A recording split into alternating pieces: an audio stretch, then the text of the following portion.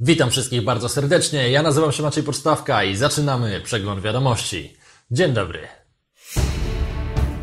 Porozumienie w sprawie Brexitu zostało odrzucone. Do Europy w 2018 roku przybyło czterokrotnie mniej uchodźców niż w roku poprzednim. Jurek Owsiak został zgłoszony jako kandydat Nagrody Nobla. Następnie dowiemy się o niezwykłym polskim przedsiębiorcy, który oszukał 9 osób na 3 miliony złotych. W szpitalu w Kenii właśnie możemy mieć powtórkę z Magdaleny Żuk. Chrześcijanie w Izraelu są oburzeni na wystawę w muzeum Maki Jezus. A na koniec w ramach naukowej ciekawostki dnia wraz z Chińczykami zasadzimy bawełnę na Księżycu.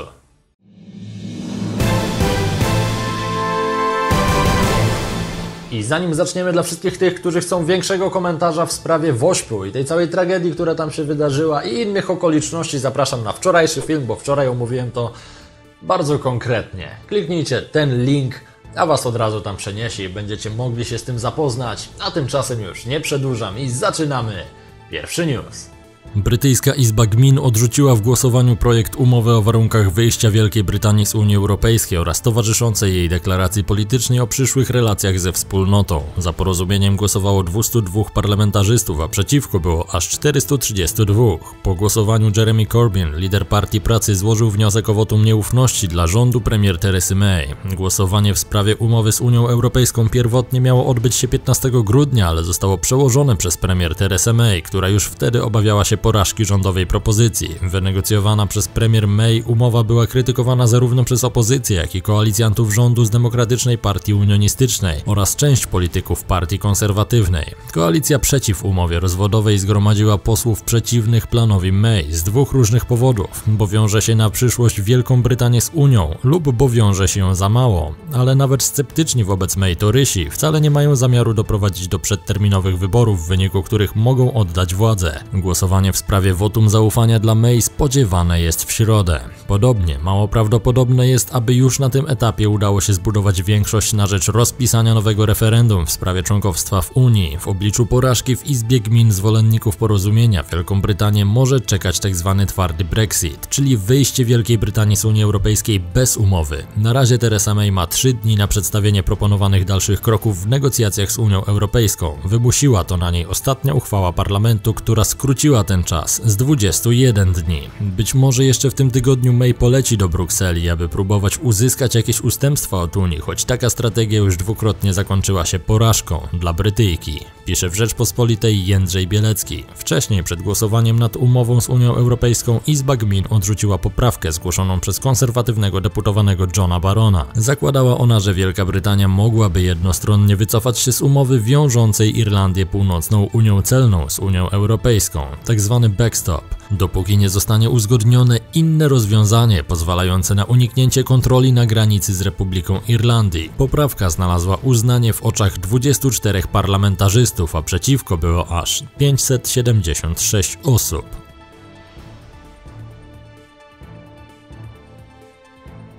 Nawet wygrywając głosowanie o wotum nieufności, premier May może zgłosić inicjatywę przedwczesnych wyborów i wtedy, kiedy je wygra, uzyska polityczny mandat dla swojego porozumienia. Druga wersja, jaką może zrobić, może oczywiście przygotować zupełnie nowe, które tym razem się spodoba Unii Europejskiej. Może także dojść do odejścia z Unii Europejskiej bez żadnej umowy, czyli tak zwany twardy Brexit. Tylko wtedy zerwą absolutnie wszystkie umowy w jednym czasie oraz zgodnie z orzeczeniem Trybunału Sprawiedliwości Unii Europejskiej może ten Brexit po prostu wycofać. Tylko wówczas, jak do tej pory Wielka Brytania była jednym z największych państw Unii Europejskiej, jednym z najbardziej liczących się, tak e, po takim odejściu z tego Brexitu stanie się mm, takim chłopcem do bicia trochę, któremu się nie udało i zanim by odbudowała swoją pozycję, zanim by odbudowała wszystkie umowy, jakie do tej pory miała korzystne dla siebie podpisane, trochę czasu by minęło, o ile byłoby to w ogóle możliwe. A jakie Waszym zdaniem byłoby najlepsze rozwiązanie, najlepsze wyjście z tej sytuacji? Dajcie koniecznie znać w tej ankiecie, a tymczasem, skoro już mówimy sobie o Unii Europejskiej, zauważyliście, że w ostatnim roku było znacznie mniej informacji o tym, że mamy bardzo duże problemy migracyjne? Najnowsza analiza Parlamentu Europejskiego wskazuje na to, że przybyło do nas po prostu czterokrotnie mniej uchodźców. W ubiegłym roku do Unii Europejskiej przybyło czterokrotnie mniej uchodźców niż rok wcześniej, wynika z danych przedstawionych dziś w Parlamencie Europejskim. Służby graniczne zarejestrowały w ciągu ostatnich 12 miesięcy 150 tysięcy osób, które przekroczyły południowe granice Europy bez odpowiednich dokumentów. To najniższy poziom od pięciu lat. Na ten temat odbyła się dziś burzliwa debata w Europarlamencie. Socjaliści przekonywali, że nadal potrzebna jest solidarność krajów europejskich. Według konserwatystów konieczne jest odwrócenie się od polityki otwartych granic. Komisja Europejska opublikowane dziś statystyki uznała za dowód na to, że podejmowane działania przynoszą efekty. Komisarz do spraw migracji Dmitris Avramopoulos mówił między innymi o 50 tysiącach uchodźców zatrzymanych bądź uratowanych przez libijską Straż Graniczną, która otrzymała unijne dofinansowanie. Komisarz zaznaczył jednak, że choć liczba migrantów spadła, nie oznacza, że kryzys migracyjny minął. Jego zdaniem nadal potrzebna jest solidarność ze strony wszystkich państw członkowskich. Teraz jest czas, by rządy podjęły odpowiedzialność w Radzie Europejskiej i przestały obwiniać Komisję, powiedział. O solidarność apelowali również socjaliści. Europoseł Claude Moraes wspomniał o Malcie, kraju liczącym 400 tysięcy mieszkańców, który ostatnio ponownie przyjął uchodźców, podczas gdy większe kraje tego nie robią. Wzywam prezydencję rumuńską. Wykorzystajmy te trzy miesiące do wyborów, znajdźmy rozwiązania, dodał Claude Moraes. Helga Stevens z grupy konserwatystów i reformatorów wzywała tymczasem do odwrócenia się od polityki otwartych granic i wprowadzenia rocznych limitów przyjmowania uchodźców. Na całym świecie mamy jakieś 60 milionów ludzi, którzy uciekają. Europa nie może ich wszystkich przyjąć, zaznaczyła europosłanka.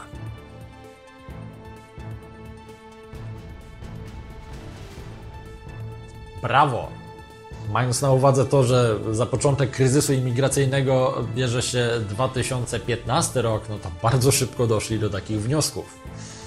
No ale lepiej późno niż wcale, bo wiadomo, pomagać trzeba, jednak to, co się obecnie dzieje w Unii Europejskiej, a przynajmniej to, co się działo do tej pory, to czyste szaleństwo. Chyba, że te statystyki, które Parlament Europejski pokazuje, są zakłamane, bo w sumie dotyczą tylko tych prawidłowo rozpoznanych uchodźców z dokumentami. Nie wiem, mam za mało danych i nie chcę nawet spekulować na ten temat, tylko mówię Wam, jak może także być, bo jest to również prawdopodobne. Ale teraz może wróćmy już do kraju. Z czego słynie Wałęsa? No oczywiście ze słynnego nie chcę, ale muszę. Z tego, że chodzi na pogrzeby w koszulce z napisem Konstytucja i z tego, że ma Nagrodę Nobla. I z tego ostatniego powodu też niedługo może być znany Jerzy Owsiak. Komitet norweski przyjął nominację dla Jurka Owsiaka jako laureata pokojowej Nagrody Nobla 2019. Tytuł zostanie przyznany pod koniec roku 10 grudnia. Z informacji tej ucieszyło się wielu Polaków, ale trzeba pamiętać, że jest to jedynie formalne zaakceptowanie nominacji, która wysłana została w formie automatycznej odpowiedzi. Wniosek o przyznanie nagrody byłemu szefowi Wielkiej Orkiestry Świątecznej Pomocy złożył poseł ruchu Kukiz 15 Andrzej Kobylarz razem z Rafałem Collinsem z TVN Turbo. To już trzeci rok z rzędu, kiedy Jerzy Owsiak jest zgłaszany jako kandydat do pokojowej Nagrody Nobla. Wcześniej takie wnioski składali Joanna Schmidt z Nowoczesnej oraz politolog profesor Adam Grzegorczyk. Oba wnioski także zostały wówczas zaakceptowane, ale Owsiak nagrody nie dostał. W ubiegłym roku w sondażach 68% pytanych było za przyznaniem Owsiakowi i Wośp Nobla. Przeciwne zdanie wyrażał co trzeci ankietowany. Pokojowa Nagroda Nobla przyznawana jest przez norweski Komitet Noblowski. Zgłoszenia do nagrody przyznawanej w danym roku można wysyłać do 1 lutego. Komitet tworzy listę, która jest dalej oceniana. Laureat otrzymuje nagrodę w wysokości 8 milionów koron szwedzkich, czyli około 3 miliony 800 tysięcy złotych. Jak są wyłaniani kandydaci? Jak podaje gazeta.pl, zgłoszenia wysyła się za pomocą internetowego formularza. Jeśli spełnia ono wszystkie wymogi, nominujący otrzymuje automatyczną odpowiedź zwrotną z adresu no reply małpa nobel no z informacją, że nominacja została przyjęta. Następnie komitet ocenia działalność zgłoszonych kandydatów i przygotowuje listę osób, które dalej są brane pod uwagę. Zazwyczaj znajduje się na niej kilkanaście, maksymalnie 30 nazwisk. Potem odbywa się debata nad kandydatami i wybór zwycięzcy w głosowaniu większościowym. W poniedziałek podczas konferencji prasowej WOŚP Jerzy Owsiak złożył rezygnację z funkcji prezesa fundacji. Ta nienawiść w moją stronę, w stronę fundacji grzeje od 25 lat. Od 25 lat staczam boje z ludźmi, którzy mi grożą. Niestety, polski wymiar sprawiedliwości i policja nie dają sobie z tym rady, mówił Owsiak.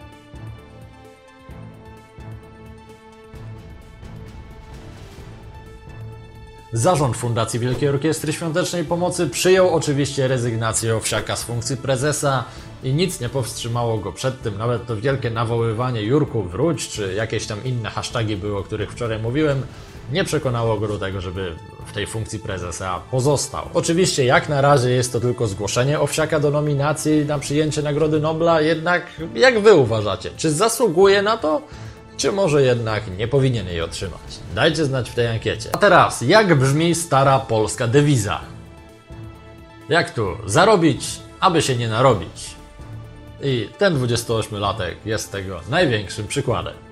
Policjanci z Bielska Białej w województwie śląskim zakończyli śledztwo w sprawie 28-latka, który oszukał 9 osób na kwotę ponad 3 milionów złotych. Mężczyzna pożyczył od nich pieniądze oferując w zastaw podrabiane sztabki złota. Dla uwiarygodnienia swojej osoby początkowo spłacał oprocentowanie pożyczek, a także wymagał od wierzycieli, by ci zabezpieczyli zastawione sztabki. 3 miliony 87 260 złotych. Na taką dokładnie kwotę oszukał 9 osób 28-latek z Bielska Białej. Mężczyzna mężczyzna wkroczył na drogę przestępstwa, gdy pogorszyła się sytuacja finansowa prowadzonej przez niego działalności gospodarczej. Wtedy zaczął pożyczać pieniądze od osób wywodzących się z kręgu rodziny i znajomych. Pod zastaw udzielonych pożyczek przekazywał kontrahentom podrabiane sztabki złota o wadze jednej uncji. W większości zakupił je w internecie, płacąc za nie od 80 do 120 zł za sztukę. Relacjonuje podinspektor Elwira Jurasz z komendy w Bielsku Białej. 28-latek twierdził, że pożyczone pieniądze przeznaczy na zyskowne inwestycje, z których zyskami podzieli się już z wierzycielami.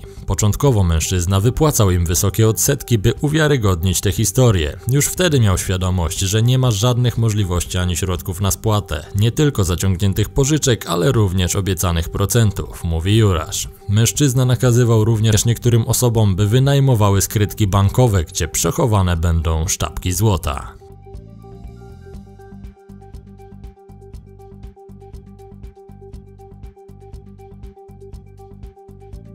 Ciągu 6 miesięcy mężczyzna wyłudził ponad 3 miliony złotych, zaledwie od 9 osób.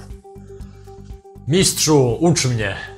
A teraz grozi mu zaledwie 15 lat więzienia. Jeśli ukrył sobie gdzieś te pieniądze, no to po wyjściu będzie sobie żył jak król. Nie mogę wyjść ze zdziwienia za każdym razem, kiedy czytam coraz to kolejne newsy na temat tego, że jakąś staruszkę czy jakiegoś staruszka nabrano na wnuczka i oddała kilkanaście czy kilkadziesiąt tysięcy złotych, które miała schowane w skarpecie.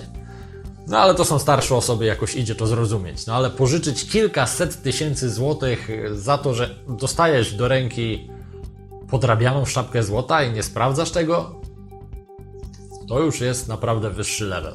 Pamiętacie jeszcze sprawę Magdaleny Żuk? No pewnie, że pamiętacie, bo ona wraca do dziś. Zrobiliśmy nawet o tym całkiem fajny reportaż, gdzie ja się nie wypowiadam osobiście, tylko ktoś zupełnie inny. Możecie sprawdzić go tutaj ale teraz możemy mieć niestety powtórkę z rozrywki.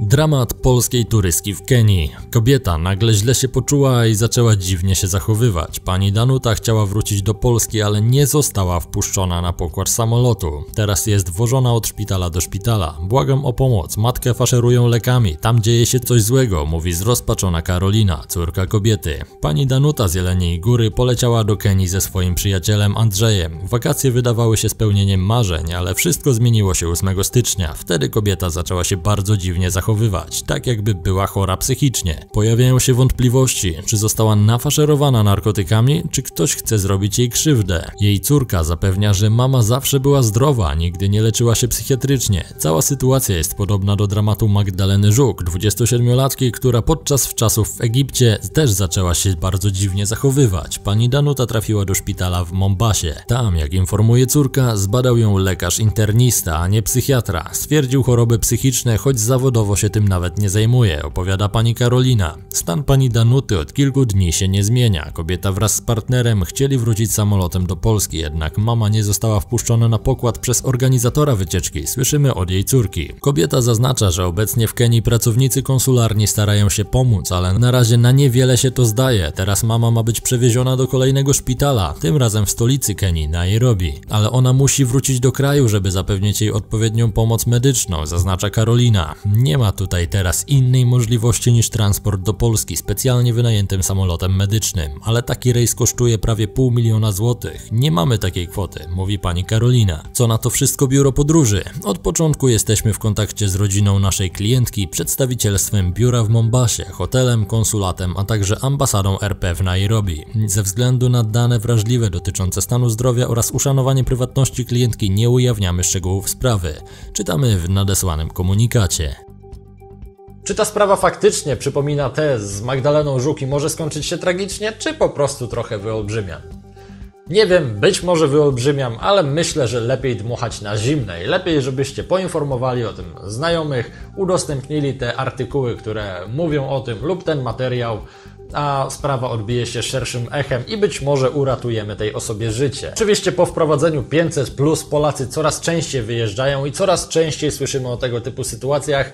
No i zazwyczaj są to te same kraje, dlatego przypomnę może według raportu Global Peace Index nie opłaca się wyjeżdżać ze względu bezpieczeństwa do Afganistanu, Syrii, Iraku i niedawno do Izraela. Natomiast po drugiej stronie rankingu, czyli tam gdzie opłaca się wyjeżdżać ze względu bezpieczeństwa to Islandia, Austria i Dania. Ale jeśli macie jeszcze jakieś wątpliwości co do swojej wakacyjnej podróży, jeśli jeszcze tego nie zaplanowaliście, no to polecam sprawdzić stronę travelplanet.pl. Możecie tam zadzwonić na infolinię, odbierają błyskawicznie i podpytać się, gdzie będzie najbezpieczniej, a przy okazji tanio. A wchodząc na tę stronę w zakładkę Super Last Minute, możecie wyjechać już jutro czy za tydzień na wycieczkę, która będzie kosztowała Was nawet połowę taniej. Możecie na przykład o, wybrać się na Maderę za 1500 zł.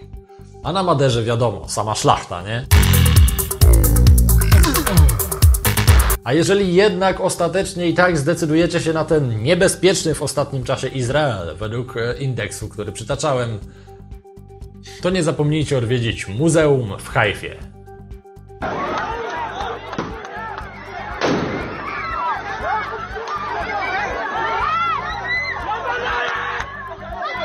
Kilkuset chrześcijan starło się w Hajfie z policją podczas protestów przeciwko zamieszczeniu w miejscowym Muzeum Sztuki krzyża z symbolem McDonalda. Protestujący przeciwko ekspozycji chcieli się wedrzeć do muzeum, byli to głównie arabscy chrześcijanie.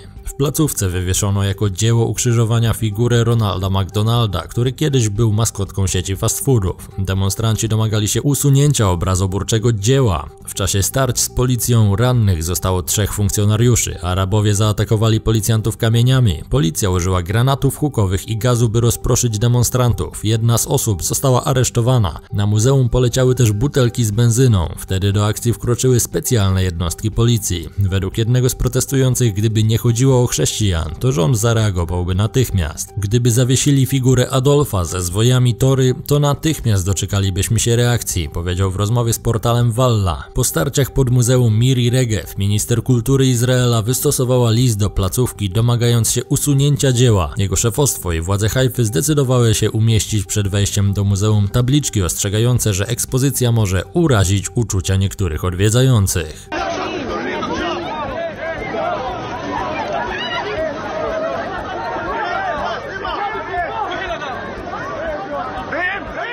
Autorem dzieła Mak Jezus jest Finn Jani Lainonen, który już wcześniej zasłynął taką produkcją jak Jezus Chrystus w roli Kena z lalki Barbie. Czy to jest jeszcze sztuka, czy już profanacja? Dajcie znać w komentarzach, a tymczasem przenosimy się do naszej codziennej, naukowej ciekawostki dnia. Chińczycy zaczęli hodować w kosmosie. Niespełna dwa tygodnie po wylądowaniu Chang 4 na niewidocznej półkuli Księżyca Chińczycy pochwalili się kolejnym sukcesem. Po tym jak do eksperymentalnej kapsuły włożono kilka nasion roślin, część z nich wykiełkowało. Jest to pierwszy w historii przypadek, gdy roślina zaczyna rosnąć w pojemniku znajdującym się na powierzchni srebrnego globu. Jak podaje The Guardian, za ten sukces odpowiadają naukowcy z chińskiego uniwersytetu. Sonda Chang 4 zebrała na Księżyc eksperymentalną kapsułę, do której włożono nasiona bawełny, rzepaku, rzodkiewnika, ziemniaków, a także drożdże i po czym poczwarki muszki owocowej. Oprócz tego w mierzącej 18 cm kapsule zamieszczono ziemię, wodę i powietrze. Zdjęcia udostępnione w mediach społecznościowych są dowodem na to, że wewnątrz pojemnika zaczęła kiełkować bawełna. Jest to pierwszy raz, gdy ludzie przeprowadzili eksperymenty dotyczące wzrostu biologicznego na powierzchni Księżyca, podkreślił Xi Gengxin, stojący na czele badaczy przeprowadzających doświadczenie. Członkowie zespołu przekazali zarazem, że bawełna jest jedyną rośliną, która wykiełkowała z zebranych przez sondę nasion.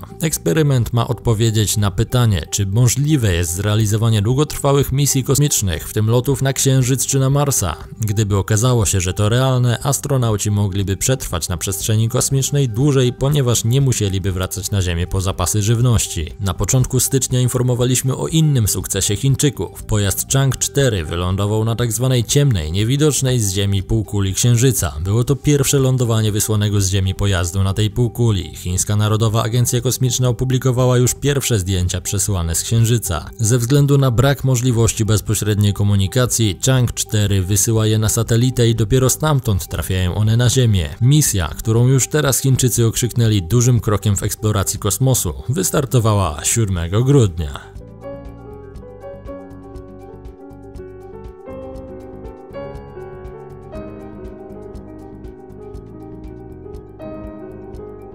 Mały krok dla maszyny, ale wielki dla ludzkości. Tylko tym razem nie mówi tego przedstawiciel amerykańskiego NASA, a Chińczyk, on.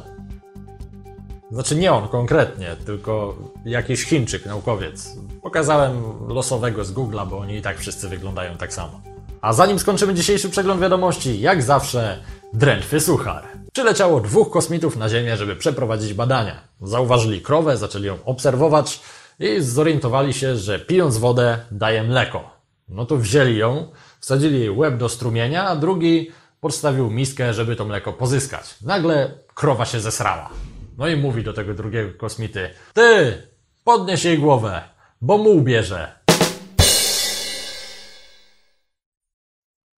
I tym drętwym sucharem kończymy dzisiejszy przegląd wiadomości. Daj koniecznie znać w komentarzach, co sądzisz o przedstawionych tematach, a jeśli chcesz nam pomóc rozbudowywać ten kanał, to pamiętaj, że możesz to robić na serwisie Patronite lub wpłacając cokolwiek tam masz, czymkolwiek chciałbyś wesprzeć nasz kanał, wpłatą na konto. Wszystkie szczegóły masz oczywiście w opisie. Dzięki Ci bardzo i do zobaczenia jak zawsze jutro. Cześć!